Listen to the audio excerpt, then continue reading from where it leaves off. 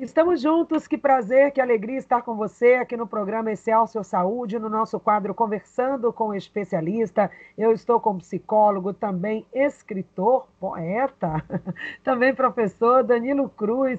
Que alegria estar aqui com você hoje, nesse mês de junho, que é o mês do Dia dos Namorados. Por isso, nós vamos falar sobre relações afetivas, sobre afetividade, relacionamento e saúde mental. Não é isso, Danilo? Bom dia, bem-vindo aqui ao nosso programa.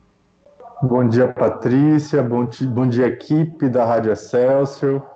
Bom dia, pessoas que nos ouvem. É um prazer imenso estar de volta a essa casa tão maravilhosa que sempre me proporcionou momentos tão especiais. Ainda mais nesse momento em que a gente pode falar sobre relacionamento, sobre a circunstância da pandemia. É muito bom estar aqui. Agradeço muito a oportunidade.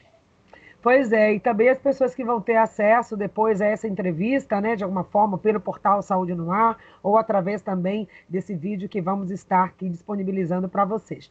Danilo, a gente começa falando exatamente sobre isso, essa ideia de que amar faz bem, né? A gente fala que o amor, ele pode liberar hormônios, ele pode trazer, né, o fato de você estar enamorado, primeiro enamorado por si próprio, depois pela vida, e essa relação também com o outro. Quando a gente desenvolve uma relação a dois, isso favorece a nossa saúde e saúde mental, que é mais a sua área? Com certeza favorece, Patrícia.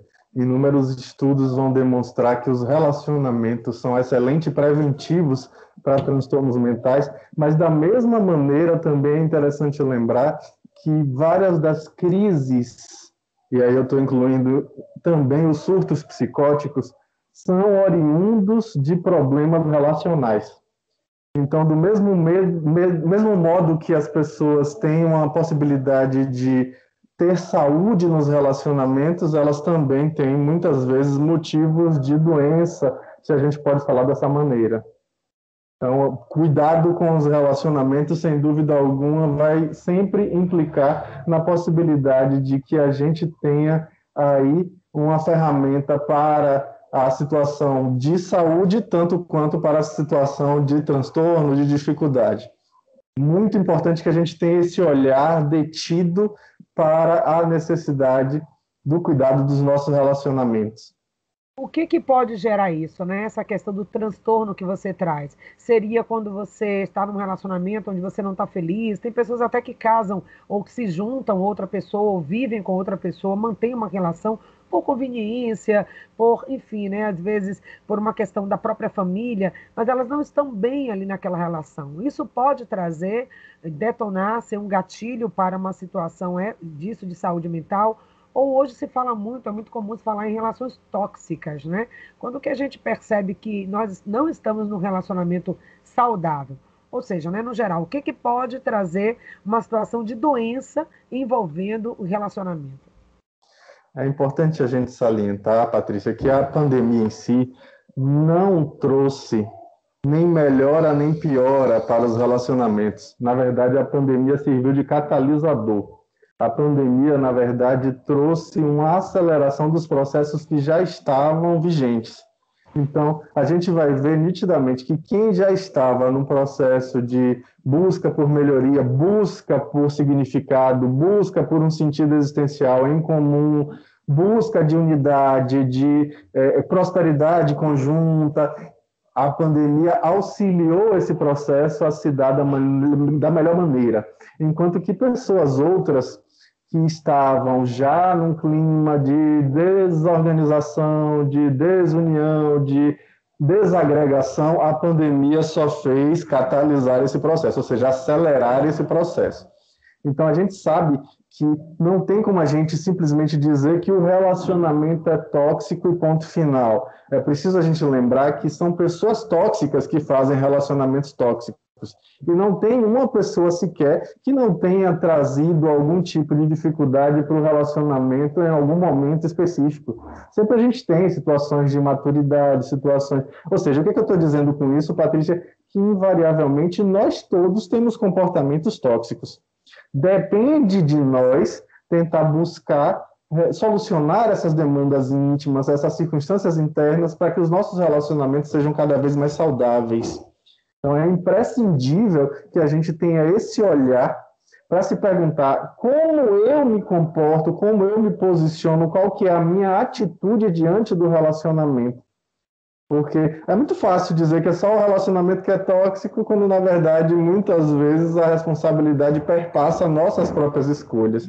Então, é bom que a gente tenha assim esse olhar para ver o que é que está fazendo bem, o que é que não está fazendo bem na relação, mas também é imprescindível, ou seja, é essencial que a gente se pergunte e nós nessa construção de saúde mental, como é que eu ajo, como é que eu escolho, como é que eu atuo para que o meu relacionamento seja uma fonte de saúde.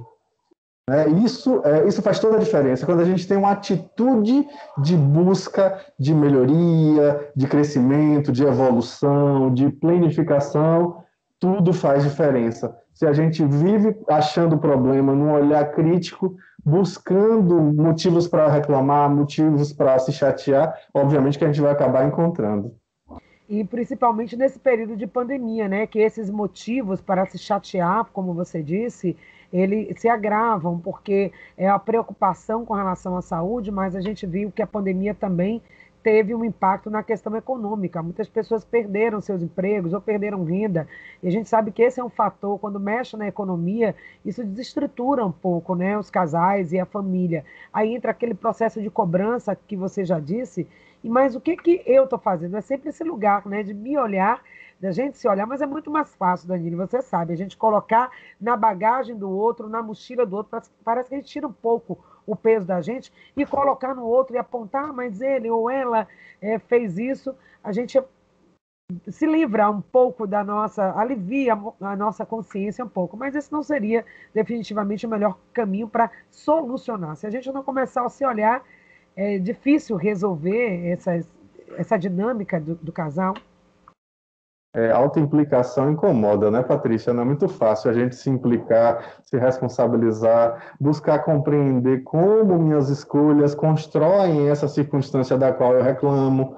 Isso não é muito simples e, infelizmente, poucas pessoas se embrenham por esse caminho, né, que é um caminho realmente maravilhoso, que vai levar as duas pessoas a terem uma possibilidade de olhar novo, um olhar renovado para a relação porque, é claro, quando, por exemplo, eu me relaciono com uma pessoa, me caso com uma pessoa, que é um, um, um momento ápice, né, momento clímax do relacionamento, eu resolvo me casar com a pessoa, eu estou ali me casando com aquela pessoa, mas eu preciso me lembrar que aquela pessoa vai mudar aquela pessoa vai se transformar tanto quanto eu vou mudar, tanto quanto eu vou me transformar. Então, se eu não tenho a capacidade de estar sempre disponível para enxergar essa nova pessoa que está comigo e para também incluir essa novidade que está dentro de mim, esse despertar que está dentro de mim, eu não vou conseguir manter esse relacionamento porque essas duas novas pessoas que não se conhecem mutuamente não estão engajadas na manutenção desse relacionamento. Então é importantíssimo que eu tenha isso em vista. Tem até uma piada que diz, né, que muito comum que o homem case achando que a mulher não vai mudar, mas a mulher muda, enquanto que a mulher casa achando que o homem vai mudar, mas o homem não muda. E aí, com isso, a gente vê uma dificuldade de conciliar essas circunstâncias. Mas é sempre importante que a gente esteja atento para essas mudanças que virão, invariavelmente virão, né? Não dá para a gente excluir o aprendizado e o amadurecimento que a gente tem com as experiências da vida. Então a gente está sempre mudando. Com certeza. E esse foi um tema que eu quis trabalhar, né? Quem está me acompanhando aí nas redes sociais, através de lives. Hoje, inclusive, gente, é 5 horas da tarde. Hoje estou falando, esta quarta-feira, dia 16, nós teremos uma transmissão no canal do YouTube, tá? Para quem quiser depois assistir essa transmissão, falando também um pouco disso, mas também celebrando, porque nós vamos ter também um casal de músicos que vai estar aí nesse bate-papo de hoje, logo mais às 5 horas. E uma das coisas que um dos casais, né, que vai estar, que é a Dani e o Alan fala, é exatamente são as interferências que acabam acontecendo. Ou então, esse deserto que vai acontecendo na vida dois. Aquele casal que vai dizendo, ah, deixa para lá, não está tão bom, mas vai, sabe assim, vai empurrando, vai levando com a, com a barriga, empurrando com a barriga, vai levando. E a gente se esquece que é possível viver também plenamente essa vida dois. Dá para fazer um esforço também para melhorar isso. Se não está bom, se não está vivendo plenamente como quer, dá sempre para melhorar. E qual seria então o caminho para isso quando se já tem aquele deserto, aquele distanciamento, né, aquela relação que praticamente as pessoas não se olham, não se conversam, só coabitam ali no mesmo espaço, mas não tem essa vivência. Então, é possível você, como terapeuta, como, como psicólogo, o que, que você diria para a pessoa que está nessa situação, mas que não sabe como sair? E até gostaria. Eu atendo pessoas, Patrícia, já há 17 anos, né, nessa labuta dentro da psicologia. Supervisiono casos clínicos, e eu posso dizer com muita tranquilidade que a regra de ouro para os relacionamentos sempre é a necessidade de que a gente dialogue. Dialogue para colocar os nossos sentimentos, as nossas emoções e para escutar, não é monologue, não é um monólogo, é um diálogo. Então a gente precisa se abrir para falar o que está sentindo e também se abrir para escutar o que o outro traz, quais são as demandas do outro. E muitas vezes a gente entra em um posicionamento de acusação e se esquece nesse posicionamento de se colocar no lugar do outro. E aí entra o princípio que eu acho que é basilar de todo relacionamento, que é a empatia. A gente precisa aprender a se colocar no lugar do outro. Nos relacionamentos em que isso se estabelece como um princípio, ou seja, princípio mesmo, na, na origem da palavra princípio, é isso é de onde se inicia as coisas, é daí que se inicia tudo no relacionamento. A gente se coloca no lugar do outro e aprende a dialogar. Quando a gente faz isso, os relacionamentos se tornam elementos de transformação não só individual, mas coletiva, porque a gente acaba impactando naquela lógica ali, numa construção de cultura, numa mudança ao nosso redor de posicionamento. Então, isso é imprescindível, é essencial para todo e qualquer relacionamento, a capacidade de se colocar no lugar do outro e a capacidade de dialogar. E, se, e o perdão, né? Também uma, a, isso que você faz, essa empatia, exercitar também o perdão, que tem tantos relacionamentos aí pautados em muita mágoa, em muita dor, em muito ressentimento de algo do passado, algo que aconteceu, e as pessoas continuam ali mantendo aquela relação, mas sem exercitar o perdão. Então, isso é, não é vida, não é feliz, não é vida plena no relacionamento, é sofrimento, gente. Então, até que ponto é você a pessoa pode sustentar isso, ou, ou quer sustentar isso, ou se não seria o caso de dar um passo, né? Se abrir. Mas aí eu tempo de cada um também, né, Danilo? Cada um precisa sentir se pode dar esse perdão e como dar esse perdão. Agora, o benefício não é só para quem vai ser perdoado. Acho que quem perdoa, quem acolhe verdadeiramente, acaba também tirando um peso, né? Vivendo de forma mais leve. O que, é que você acha? A dificuldade de perdoar vem muito com um apego ao passado, né? As pessoas muitas vezes se sentem aprisionadas ao que aconteceu lá atrás e não conseguem deixar o passado no lugar dele e não conseguem, por conta disso, usufruir do potencial do momento presente. Não conseguem estar presentes exatamente naquilo que vivem, naquilo que fazem. Então, ficam trazendo consigo, arrastando consigo o passado como que uma âncora amarrada em correntes, impedindo a pessoa de caminhar para frente, porque aquilo é um peso. Aquilo ali realmente vai ser difícil. A palavra perdoar, é interessante lembrar disso, Patrícia, ela tem um significado bem interessante, quer dizer doar por inteiro, como percorrer, é correr, percorrer, é correr por inteiro, né? o, o, essa, esse prefixo per quer dizer por inteiro. Então, perdoar é tão difícil porque a gente é apegado, a gente segura naquilo ali do passado e não consegue desapegar, abrir mão daquilo que aconteceu, deixar para lá. E eu gosto da ideia de que quando a gente perdoa, na verdade, a gente é que se liberta daquela circunstância. É a gente que consegue seguir adiante, ficar mais leve. Enquanto a gente não perdoa, a gente se comuna com a situação e fica ali presa a ela e não vai usufruir do presente, que não é à toa que tem esse nome, né? Presente, porque é uma dádiva, é um presente que a gente tem e pode fazer alguma coisa diante disso. Enquanto a gente está preso no passado, a gente não vai conseguir fazer nada se não tentar resolver aquela situação em aberta que está ali, na verdade, e vai se repetir. Enquanto a gente não resolve, eu vejo muito isso na prática clínica, as situações não resolvidas se repetem. Aí você vai acabar encontrando aquele pai severo nos seus relacionamentos, no seu chefe, no policial que te aborda na rua, ou seja, aquela situação não resolvida resvala em todos os seus relacionamentos no final das contas. Aí então, tem gente que desculpa, que pergunta assim, que diz assim, ah, mas eu tenho um dedo podre, né, entre aspas, para relacionamento, eu não sei me relacionar, todo mundo que eu me relaciono são sempre pessoas assim, começa até muito bem, depois já se mostra por quê. Então a pergunta que tem que ser feita é, por que, que eu estou atraindo esse tipo de pessoa, né? O que, que eu ainda não resolvi, talvez em mim, no meu campo, na minha energia, na minha forma de pensar, me relacionar, que eu estou atraindo esse tipo de situação. Então, quando você coloca o perdoar, que é o doar por inteiro, esse perdão, acho que a gente pode trazer esse mantra para a gente, por amor a mim, né? Eu perdoo, por amor a mim, eu faço diferente, por amor a mim, eu vou construir uma história diferente, porque é possível. Não é verdade, eu gostaria de dizer, as pessoas estão nos ouvindo e vendo depois, é que não é verdade que as pessoas nasceram para ter uma vida assim, uma vida mais ou menos, uma vida morna, né, no relacionamento, mas que elas possam exercitar a cada dia esse viver plenamente. Agora, a gente está dizendo que é possível, agora é fácil, Danilo. Essa convivência a dois é fácil, você tem uma experiência também como casal, né? Também no dia a dia, mesmo para quem é de uma área de comportamento como você, o dia a dia não é fácil, né? Não é fácil para ninguém.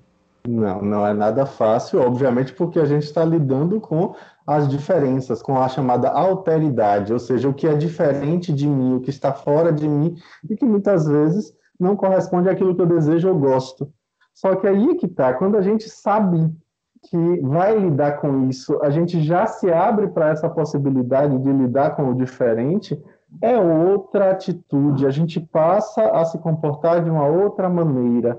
Né? A questão está aí, a gente precisa muitas vezes se abrir para lidar com o diferente e não entrar naquela postura narcisista de querer que o outro seja o meu reflexo, a minha imagem. Porque isso é narcisismo. A gente está, na verdade, querendo que o outro seja você. E nisso você quer não namorar ou se relacionar com o outro, você quer se relacionar com você no outro. Isso é narcisismo. A gente precisa despertar, tomar consciência desse padrão e perceber a necessidade de incluir. Eu lembro muito bem, quando estava fazendo a especialização em psicologia analítica, de um professor que dizia isso, que um relacionamento, quando se inicia, que muitas vezes é permeado pela paixão, que é cheia de projeções, a gente projeta inúmeras expectativas no outro, aí quando vai ver que o outro não é aquilo, não é aquela projeção que a gente jogou nele, a gente tem dois caminhos. Ou dissolve o relacionamento porque a gente se sente desinteressado e cai fora, ou passa por um novo patamar, que é o patamar do amor, que é quando a gente diz assim, olha, não é bem o que imaginava. Na verdade, é essa, essa, esse sarapatel de coruja ali com a qual eu convivo agora. É essa carnicinha ambulante, mas ainda assim eu escolho viver com essa pessoa, com todos os defeitos, com todas as dificuldades. Isso é uma atitude de maturidade diante do relacionamento no encontro com o outro. Porque enquanto eu fico forçando o outro a ser eu mesmo, eu não estou ainda dentro do relacionamento, eu estou tentando forçar que eu me imponha ao outro. Então isso Vou é imprescindível.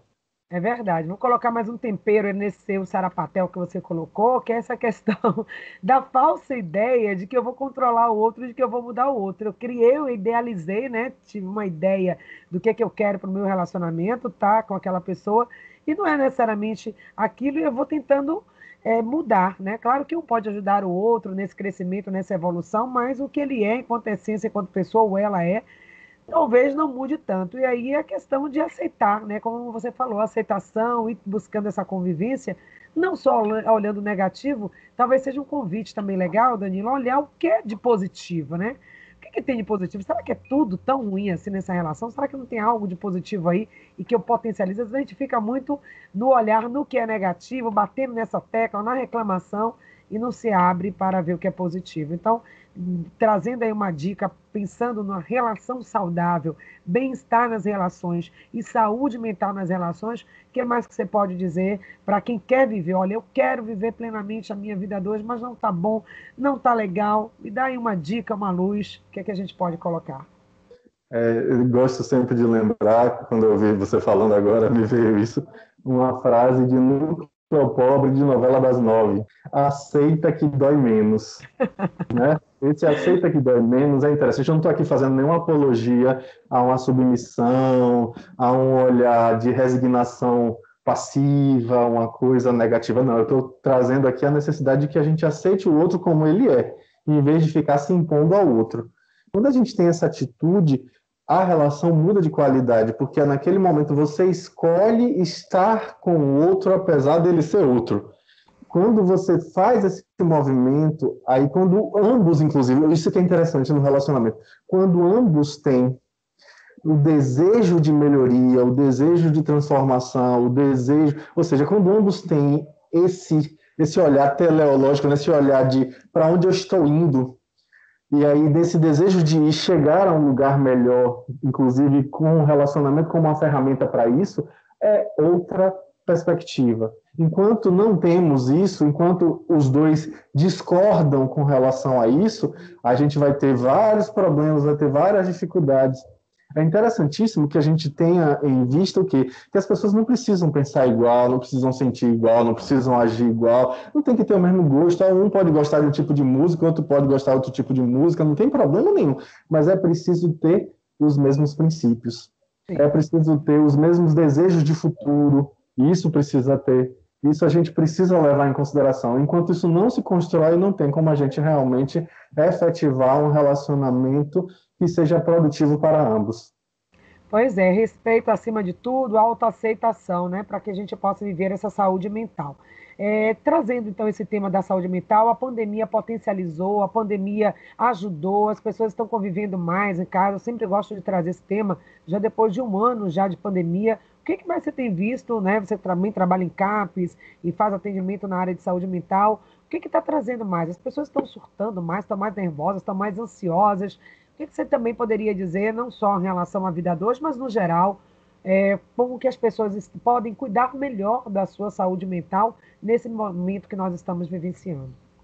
Inclusive, Patrícia, eu estou agora, nesse exato momento, no CAP São Caetano, onde eu trabalho, tá? Por isso estou de máscara, minha voz está um pouco abafada justamente por conta disso, mas o que, é que eu tenho visto, não só aqui no CAPS, mas também no consultório particular, que muitas pessoas têm tido realmente circunstâncias potencializadas por conta dessa situação do isolamento social, do medo da doença, das tantas mortes e lutos que tem vivido, da dificuldade financeira oriunda disso tudo. Então, aqui no CAPS, por exemplo, eu tenho visto inúmeros casos de ansiedade grave, de transtorno de ansiedade. Não é ansiedade, a, a ansiedade normal de reação emocional pontual, não transtorno de ansiedade, transtornos depressivos em geral, eu tenho visto isso muito frequentemente, e um aumento muito grave de tentativas de suicídio. Um aumento muito grave de tentativas de suicídio. E no consultório, e aí eu estou falando no consultório particular, eu tenho visto muitas dificuldades justamente de relacionamento. Olha que interessante, hein? As pessoas estão com a possibilidade de entrar em contato mais próximo umas com as outras e justamente por conta disso estão tendo problemas de relacionamento. Olha só. Para falar também para quem quer se abrir, Danilo, porque está fechado, na verdade, passa por um trauma, por algum tipo de abuso, ou viver uma relação tóxica e se fechou totalmente para o relacionamento. Hoje em dia não consegue mais se abrir e acha que acabou, né? Que não vai ter mais um amor na vida, ou que passou o tempo de amar, pessoas até idosas e que, enfim, não se sentem, não se permitem viver a vida dois. O que é que você diria para essas pessoas que se fecharam para o amor? Tem uma musiquinha, eu não sou cantor não, Patrícia, mas tem uma musiquinha que eu gosto que diz assim: tá com medo de amar, é, tá com medo do amor, e aí deixa a página virar. É. Ou seja, a gente precisa aprender a deixar a página virar para tentar o novo. Enquanto a gente está preso no passado, a gente não consegue usufruir do presente. A grande questão está aí. As pessoas muitas vezes se esquecem que não é o passado que determina o presente. O passado só determina o presente se o passado continua presente. A gente continua arrastando o passado conosco em vez de deixar ele lá atrás. Se a gente se abrir para a experiência presente, se a gente se abrir para o aprendizado que a experiência nos traz, se a gente amadurecer com o que aconteceu no passado, isso vira história. Aí a gente vai conseguir usufruir desse momento presente da melhor maneira possível. Vou botar uma pimentinha aí nessa sua fala, e para a pessoa que pode dizer assim, mas o vivido vive, eu vivenciei aquilo e aquilo está em mim, não, não tá, eu, eu, lembro, eu percebo, isso está na minha vida. Então, é difícil, mas qual seria a dica nesse caso para quem está com o vivido, vivendo e não conseguiu deixar o passado no lugar dele passado? A memória é sempre afetiva, ou seja, é algo que me afeta, quando a gente começa a perceber que está melhorando, é no momento em que aquilo deixa de nos afetar. Aquilo do passado já não mais incomoda. Sabe aquele momento que a gente começa a dar risada do que aconteceu? É um momento em que a gente alcança um outro nível de consciência, é um momento em que a gente desperta para outras possibilidades de leitura daquela situação, naquele momento que a gente está vivendo aquilo dói, é incômodo, mas lá adiante, quando a gente olhar para trás, a gente vai rir, vai dizer, poxa vida, como eu sofri com aquilo, hoje eu não sofro mais. Então, é essa caminhada que a gente precisa de integrar afetivamente aquela situação para que aquilo não mais nos afete. É aquilo que eu gosto sempre de lembrar no relacionamento. Ah, fulano me magoou. Aí é bom lembrar que o verbo magoar, na verdade, tem muito de reflexivo, é magoar-se fulano magoou, na verdade eu me permiti me magoar por conta de fulano.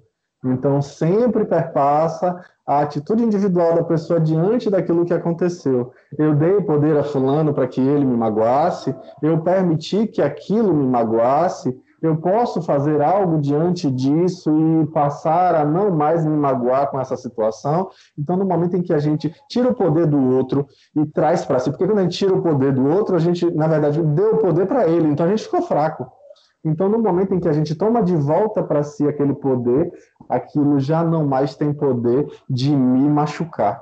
Ou seja, eu retomo a minha robustez eu me sinto fortalecido e consigo transcender aquela situação de, da melhor maneira possível.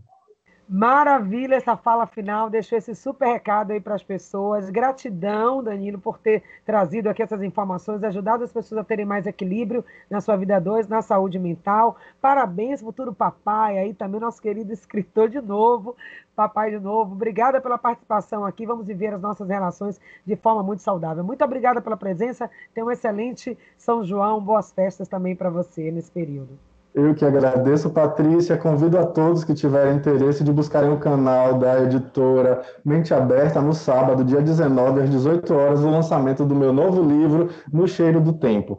Um grande abraço e até breve.